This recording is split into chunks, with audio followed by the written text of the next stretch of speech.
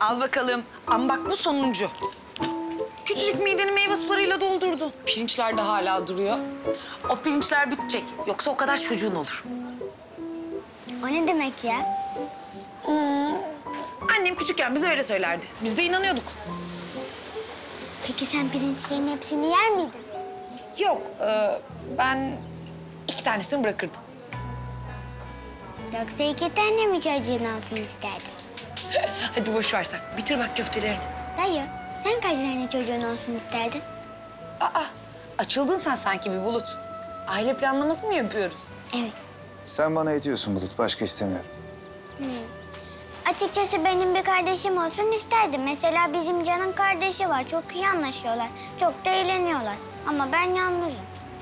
Bulut'cum böyle konuşma ne olur. Üzüyorsun beni. Bir kız bir erkek mi? Evet, bir kızı bir erkek. Mutlu oldun mu? Evet. Ama şu an hiç çocuk düşünecek durumda değilim Bulut. Şu an düşünebildiğim tek şey yarınki gurmeler. Gurme ne demek? Gurme, yemek yemeyi seven, damak tadı olan kişilere denir. O zaman ben de bir gurmeyim. Öyle mi gurme beyciğim? Söyle bakalım nasıl olmuş köfteler? Mükemmel.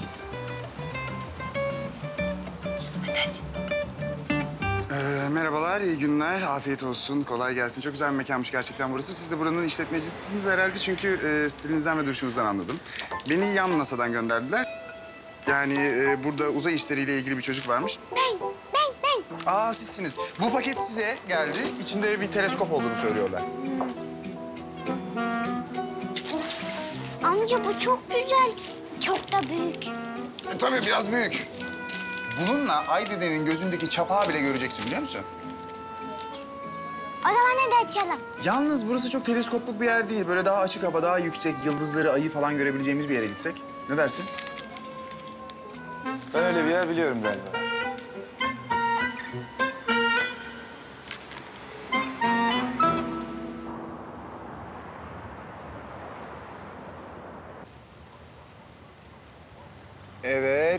Ayarladım. Tanıştırayım. Aydede ve Bulut. Bulut, Aydede. Amca bu çok güzel, çok büyük.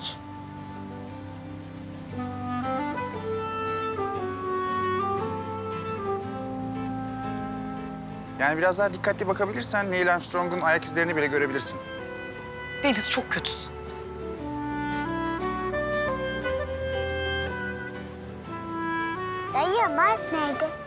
Mars nerede? Zor bir soru sordun. Ver bakayım.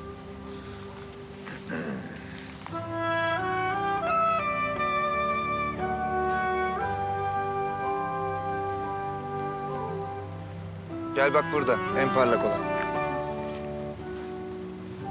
Neden en parlak? Çünkü Mars dünyaya en yakın olan gezegen ve biz o yüzden onu çok daha parlak görüyoruz. Vallahi ben yerimi ayırttım. 10 sene sonra gidiyorum. Gerçekten mi? Ben de geleyim mi? Gel, birlikte uzaylılar sever bizi. Top falan oynarız onlarla.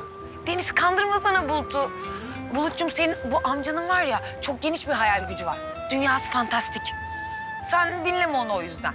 Ama söz veriyorum bir gün Mars'a gidilirse seni elinden tutup ben götüreceğim. Bizimki biraz daha bilim kurgu. Yani yarın ne olacağını pek bilmiyoruz ya. Dünya çok hızlı dönüyor ya. Hani öyle söylemiştim. Ya olmayacak şeyler bazen olabiliyor birden. Boş hayallere kapılmamak lazım bence. Her zaman gerçekçi olmakta fayda var. Her zaman gerçekçi olmak çok sıkıcı ya. Ben hayalleri tutunuyorum. Bir gün böyle her şey çok güzel olacak diyorum kendime.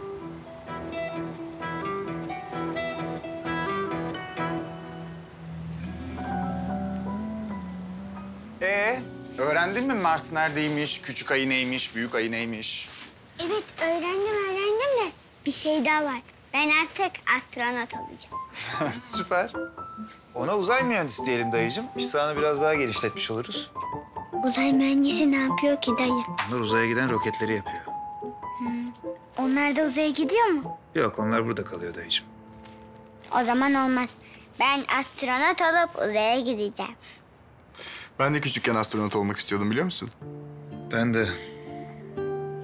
Ay ne uzay sevdası aileymişsiniz siz. Aa tabii sen bilmiyorsun. Bizim soyumuz yetkililere dayanır. Sen ne olmak isterdin küçükken? Ben mi? Ya benim kafam çok karışıktı. Bir ara balerin olmak istedim. Ama tahmin edersin ki çabuk vazgeçtim. Sonra öğretmen olayım dedim. O da çok sarmadı. Aşçı olayım dedim. Çabuk vazgeçtim şaşırtıcı bir biçimde. Taksi şoförü bile olmak istedim. Sonra babamdan bana doğru bir terlik gelince ondan da vazgeçtim. Sonra en iyisi aşçılık deyip aşçılıkta karar kıldım. Evet iyi ki aşçı olmuşsun yoksa biz seni tanıyamazdık. Evet çok doğru. Yani bu mesleği seçmeseydin biz e, tanışamazdık. Bence her türlü bulurdunuz beni. Dayıcığım sen neden bu kadar çok astronot olmak istiyorsun? Hakan enişte bana bir gün dedi ki... Benim annemle babam çok uzakta bir yıldızda yaşıyorlarmış. Ben de astronot olup uzaya gidip onları bulacağım.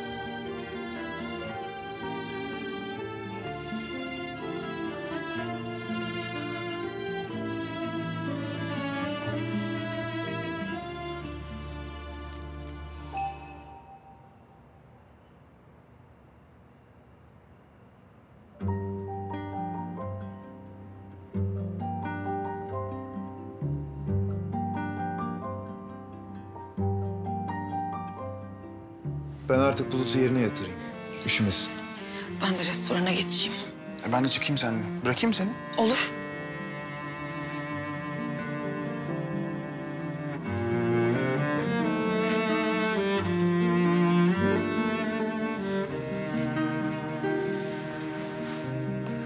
Kaç tane bilim kurgu romanı bırakayım sana.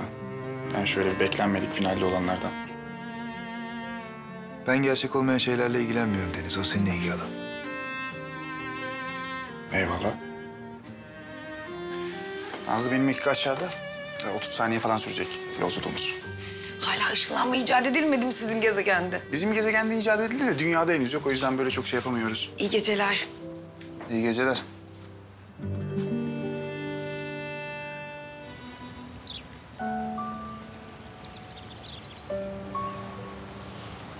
Görüşürüz dayı. Görüşürüz canavarı.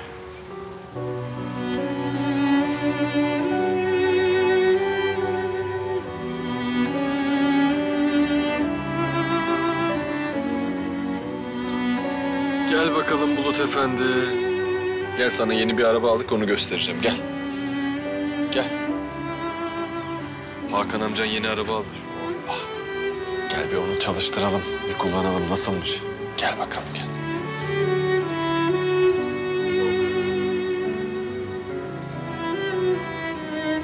Teşekkürler Ferit. Kazanamayacağım bir işe girişmediğin için. Direnç gösterip bizi mahkemelerle, savcılarla uğraştırmadığın için. Teşekkürler. Bulut süreçte yıpranmasın diye. Yoksa ben sizi uğraştırmasını bilirdim. Öyle mi? Bak bundan sonra Bulut'un okul düzeni için onunla görüşmelerini mahkemenin bana verdiği izin ölçüsünde sınırlandıracağım.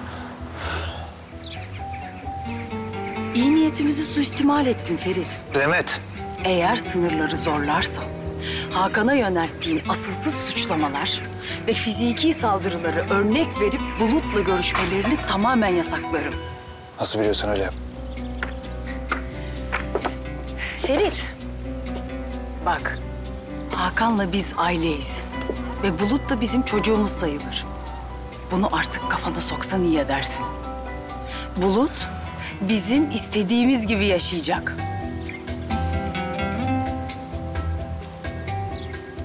Demet. Defol. Yolu biliyorsun.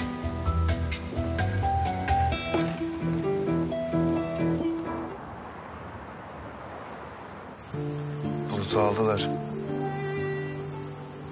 Öylece alıp götürdüler. Ve ben hiçbir şey yapamadım. Üzgünüm. Çok üzgünüm. Elimden hiçbir şey gelmiyor Nazlı. Ben her seferinde yıkılmaktan, yenilmekten yoruldum artık. Ben. Asuman.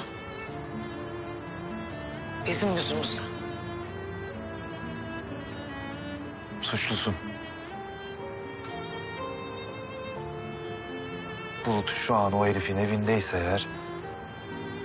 ...bunda senin de payın var. Beni hiç affedemeyeceksin değil mi?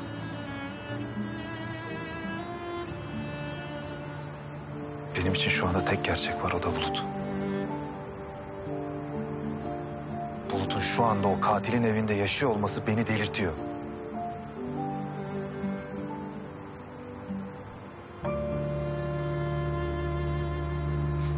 Ama ben kaybetmeyi sevmiyorum Nazlı. Bulut'u geri alacağım. Mutlaka yapacağım bunu. Nasıl yapacaksın? Bulut'un resmi ailesi onlar şu an. Mahkeme kararı var. Bana yardım edeceksin. Nasıl?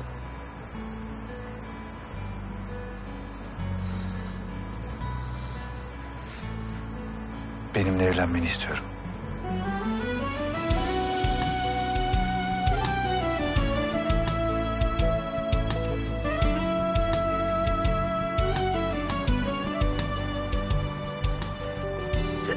Bir, dakika ben tam olarak neler olduğunu anlayamadım sanırım. Şimdi sen bana Evlenme teklif etmiyorum Nazlı.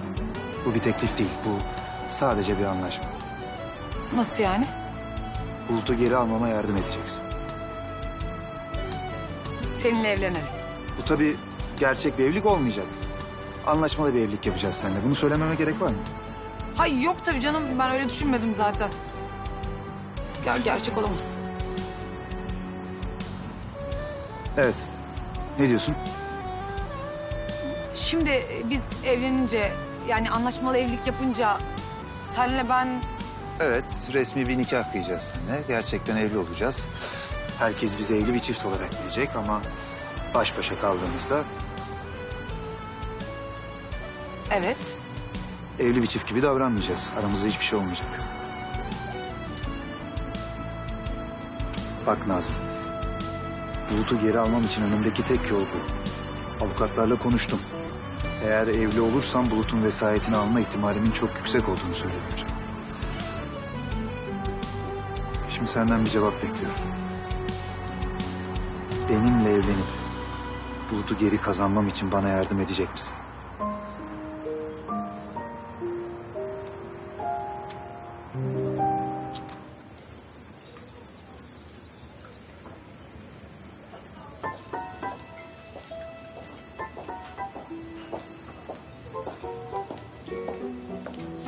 Beklettin mi çok?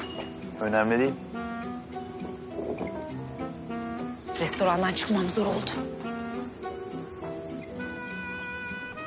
Ferit'le gizli gizli buluşmalar. İyi iyi. Defteri getirmedin mi? Hepsi aklımda. Tamam. Sor bakalım. Ne istiyorsan sor. Ya sen niye bu kadar rahatsın acaba? Rutin olarak anlaşmalı evlilik falan mı yapıyorsun? Ben de senin niye bu kadar korktuğunu anlayamıyorum. Sonuçta ilk defa yalan söylemeyeceksin değil mi? Daha önce bu konuda tecrüben var. Biraz daha böyle konuşmaya devam edersen kendine evlenmek için başka birini bulmak zorunda kalacaksın. Bak Nazlı. Aramızda bir sürü şey yaşandı. İkimiz de birbirimizi tanıyoruz. Tek yapmamız gereken herkesi bu evliliğe inandırmak. Tamam. Kolay bir şey değil belki ama ben bunu yapabileceğimizi düşünüyorum. Normal insanlar birbirini severek evlenirler. Bu yüzden onlara inanırız. Senin şu ara beni çok sempatik bulmadığın aşikar. Herkes anlayacak bunu. Ben seni seviyormuş gibi yapabilirim. Herkes de buna inanır. Sen yapabilecek misin peki? Seviyormuş gibi mi? Yaparım. Yani kendim biraz zorlarsam yaparım. Bayağı zorlamam lazım. İyi. İkimiz de biraz kendimizi zorlayalım o zaman.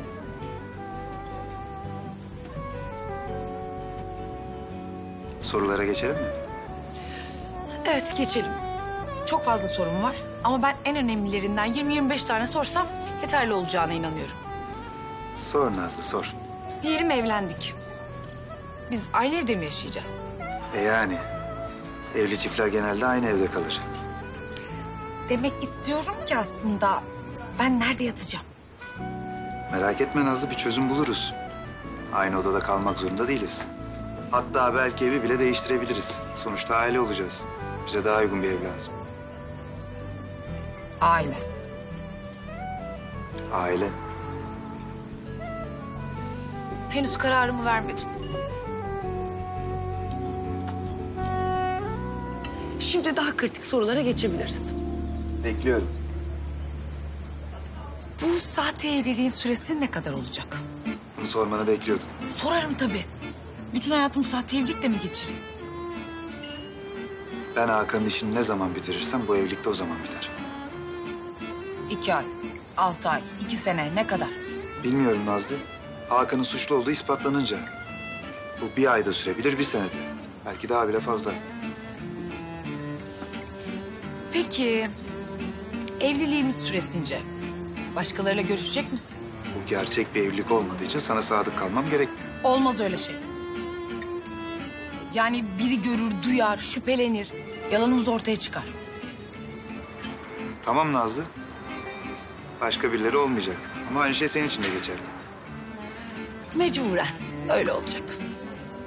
Öyle oluyor.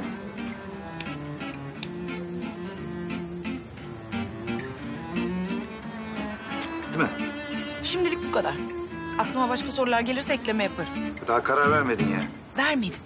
Biraz daha düşünmem lazım. Hadi kalkalım artık ben restorana döneceğim. Yusuf, Buyurun Ferit Bey. hesabı alabilir miyim? Tabii ki efendim.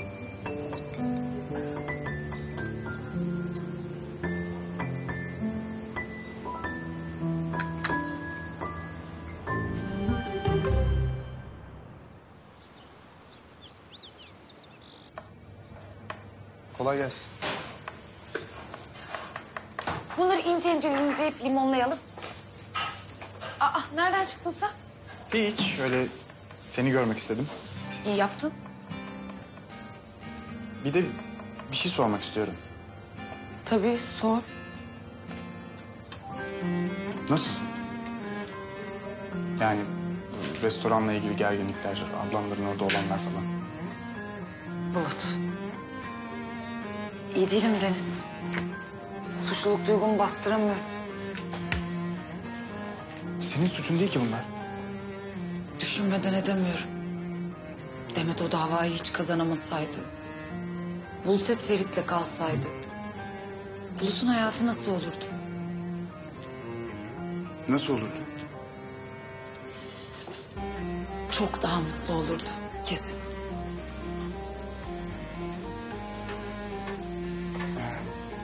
Peki sen orada çalışıyor olur muydun? Bilmem. Ferit'le muhtemelen birbirimizi çoktan boğazlamış olurduk. Ben de Bulut'un hafta sonu arkadaşı olurdum.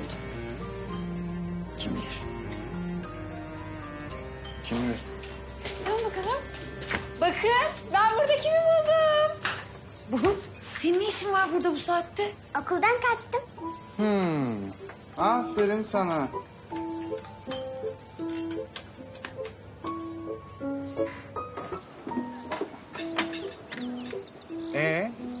Demekmiş okuldan kaçmak? Anlat bakalım Bulut Bey. Nazlı bunlar şahane olmuş. Öyle mi? Bak bak lafı nasıl değiştiriyor. Küçük adam. Amcam bir soru sordu. Hadi anlat bize. Kaçtım işte. Yani öğretmen ödev verdi. Evinizi, odanızı anlatan bir şey yazmanızı istedi.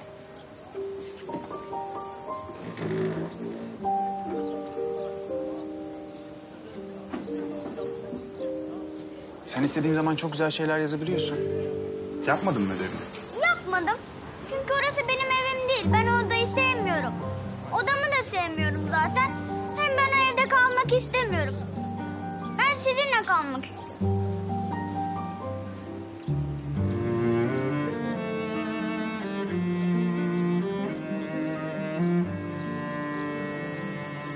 Bulut'cum. Ben çok eminim ki halan seni çok seviyor. Ve sen iyi hisset diye ellerinden geleni yapıyorlar. Hayır sevmiyor. Ben sizinle yaşamak istiyorum. Onunla değil. Dayımla, amcamla, seninle. Onunla değil. Madem okulda çalışmıyorsun, o zaman burada çalışacaksınız Bulut Efendi. Hadi bakalım kalk. Kalk kalk kalk kalk. Hadi bir sürü işimiz var seni bekliyor. Olur tamam. Ne yapayım? Vallahi sana göre bir iş buluruz. Bir sürü işimiz var. Nazlı, Nazlı da gelecek mi? Geleceğim tabii. Sen yumurtaları çırpmaya başla ben yetişiyorum sana. Hadi bakalım. Rap rap.